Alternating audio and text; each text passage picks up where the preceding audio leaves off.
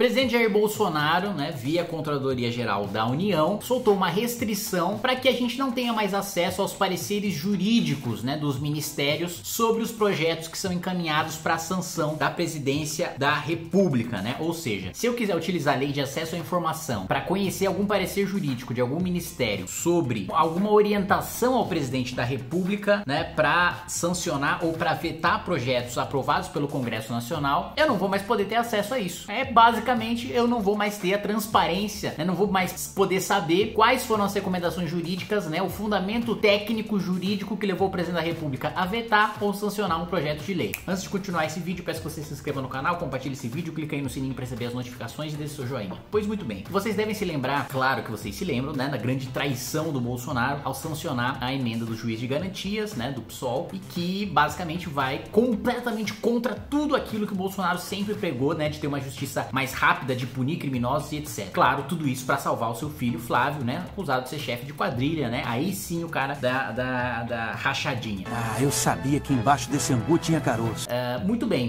todo mundo sabe também que você teve um parecer técnico jurídico do Ministério da Justiça, né, então o ministro Sérgio Moro, mostrando todas as razões técnicas pelas quais ele não deveria sancionar o juiz de garantia, né? Tanto não deveria que o juiz de garantia foi suspenso pelo Supremo por ser inaplicável, né, no, no, no, dia para noite, como foi aprovado, sem conversar com a magistratura, sem conversar com o Ministério Público, não tem estrutura no judiciário pra gente implementar é, o juiz de garantias. E você tem argumentos contra e a favor do juiz, eu pessoalmente sou contra, por princípio, mesmo se a gente tivesse as condições de aplicar, mesmo se a gente tivesse as condições de implementar, mas essa é outra discussão mais complexa, mas o ponto é que ele traiu todas as suas promessas de campanha, a sua bandeira, né, de combate à criminalidade e de ser duro em relação ao combate à criminalidade e fez tudo isso de maneira atabalhoada, né, uma decisão completamente ausente de, de qualquer respaldo técnico, né, ou seja, não tinha estrutura, você não tinha condições, né, do judiciário implementar e ele toma essa decisão mesmo assim. Muito bem, um dos princípios que regem a administração pública, né, para quem não sabe, aliás, o editor desse vídeo sabe muito bem porque teve aulas de direito administrativo, né? O direito administrativo é regido pelos princípios LIMPE,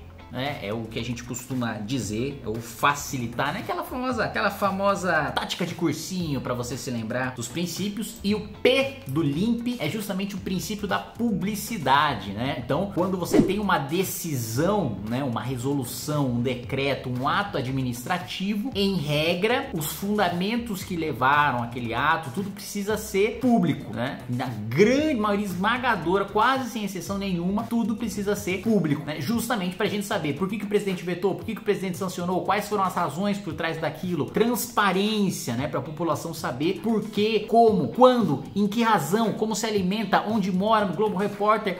Hoje no Globo Repórter. A decisão tomada pelo presidente da República no seu ato administrativo. Ele não pode simplesmente, o presidente da República é o presidente da República. Aquele momento em que o editor coloca no vídeo.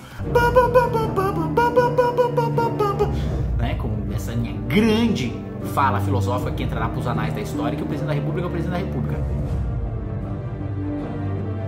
E eu digo isso por quê? Porque o presidente da República não é o Mr. M, né? Ele não vai lá ser narrado pelo Cid Moreira. Veja por que, que ele sancionou este projeto de lei. É um mistério. Não, meu amigo. Você precisa mostrar, precisa estar tá lá explícito. O princípio da publicidade é justamente para que o presidente da República seja questionado e responsabilizado pela razão que o levou a tomar aquela atitude, porque no direito administrativo costuma se dizer decidir decidir é vincular-se. E o que, que isso significa? Toda decisão que você toma num ato administrativo e todo funda toda fundamentação daquele ato administrativo te vincula. Você fica obrigado a cumprir e a seguir as suas próximas decisões e decisões anteriores àquele fundamento que você mesmo utilizou para o seu ato administrativo. O que, que eu quero dizer com isso? Eu quero dizer o seguinte: se eu, por exemplo, faço um ato administrativo dizendo o seguinte: olha, eu comprei lápis sem licitação porque lápis é uma coisa barata, eu comprei na empresa mais barata e eu comprei uma quantidade muito pequena para eu abrir um processo licitatório. Ia ser mais caro eu abrir a licitação do que eu ir lá e comprar, sei lá, uns 50 lápis. Né? Se você tomou essa decisão, você não pode no futuro, ah, vou comprar 50 borrachas. Ah, não, mas para essas 50 borrachas eu vou, abrir, eu vou abrir licitação. Pera aí, você já tomou um ato administrativo antes, né? Você já executou um ato antes falando que no, no caso do lápis, que era pouca quantidade, era uma coisa barata, você não ia abrir licitação porque a licitação ia sair mais cara do que o próprio lápis. Porque agora na borracha, que é o mesmo caso, a licitação vai sair mais caro que a própria borracha, você está tomando uma atitude diferente, você não pode. Aquele fundamento da decisão anterior que você tomou te vincula para a decisão no futuro. Ou quando, por exemplo, você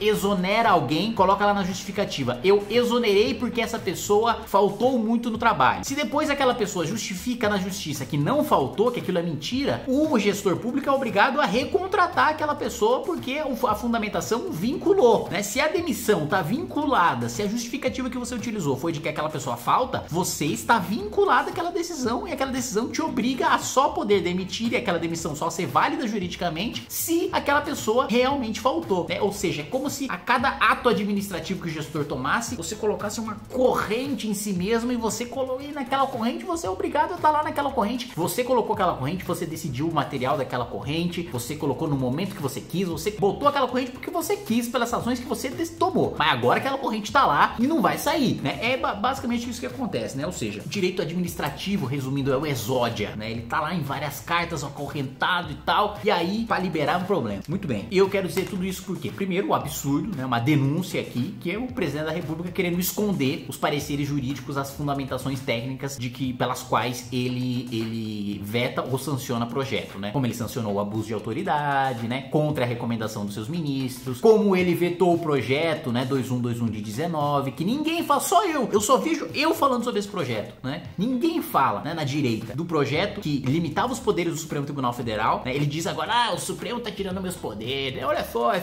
eu tô governando nada isso aqui. Esses caras estão dominando tudo aí, pô. É, fala isso aí, mas no final, na hora que ele poderia sancionar o projeto para limitar os poderes do Supremo Tribunal Federal, aí ele vetou e não deu explicação nenhuma e não falou nada, ficou quietinho esperando ninguém falar nada. E o gado bolsonarista quietinho, quietinho um silêncio ensurdecedor e eloquente no pasto sobre o projeto 2121 de 19, né, que basicamente limitava os poderes de ministros do Supremo Tribunal Federal que tomavam decisões monocráticas, ou seja, sozinhos, liminares, ou seja, decisões temporárias que depois iam ser revistas pelo plenário. Então, dava um limite de tempo para essas decisões, né? Se vocês quiserem, eu explico melhor esse projeto num, num vídeo posterior. Mas eu disse tudo isso para quê? Para fazer essa denúncia e para dizer que nós do MBL, vamos entrar através do nosso queridíssimo advogado Rubinho Nunes e, está tocando aqui o interfone.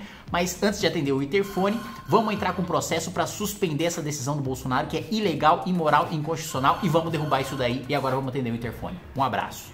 Pegou a pizza. Opa, quebrei a bagaça.